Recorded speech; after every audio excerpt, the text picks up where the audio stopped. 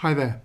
Now for this question we're given the graph of y equals mod x and asked to transform it to the graph y equals the mod of all of two lots of x plus 3 and to be able to transform it in two transformations.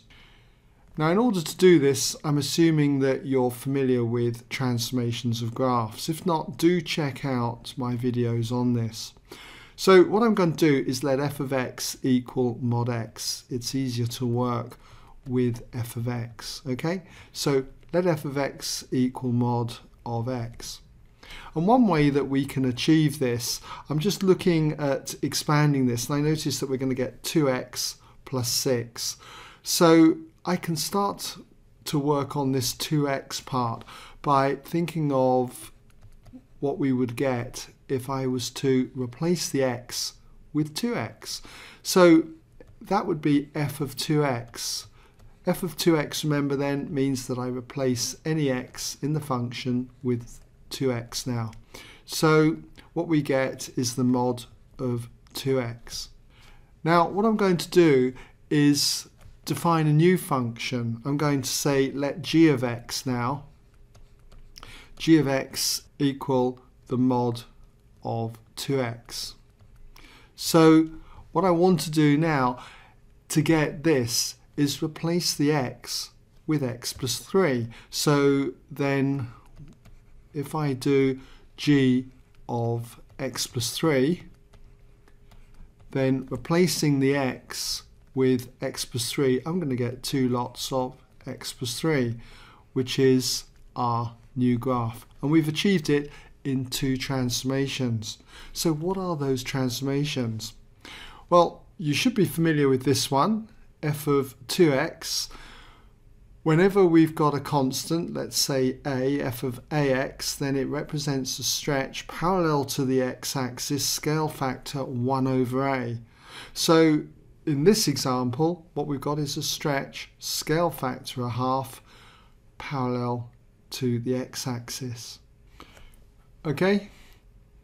Now the other transformation is this one here, g of x plus 3, which gave us the final graph.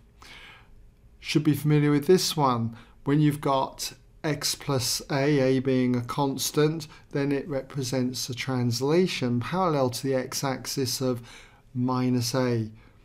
So in other words, what we've got here is a translation minus 3, 0.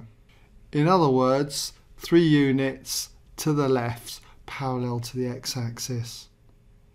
So that's one particular version that we could have.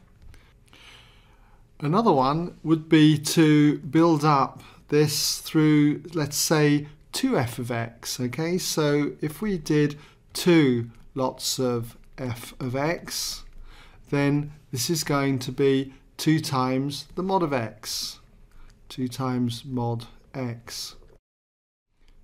Now if I let, let's say h of x, okay, equal to mod of x, then if I replace the x with x plus 3, in other words, if I do h of x plus 3, then what I've got then is 2 times the mod of x plus 3.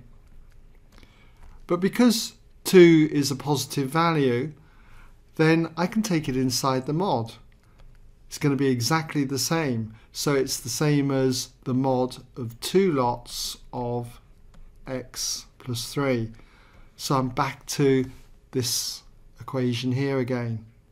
So when it comes to looking at the two transformations that we can have here, then for two lots of f of x, a times f of x, a being a positive constant, represents a stretch, scale factor a parallel to the y-axis. So what we've got here is a stretch, scale factor 2 parallel to the y-axis.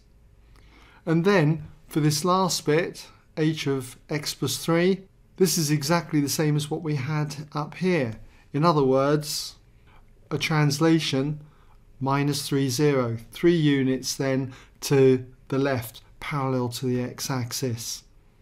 So there's two examples then of ways that we could transform this graph y equals the mod of x onto this graph y equals the mod of two lots of x plus 3.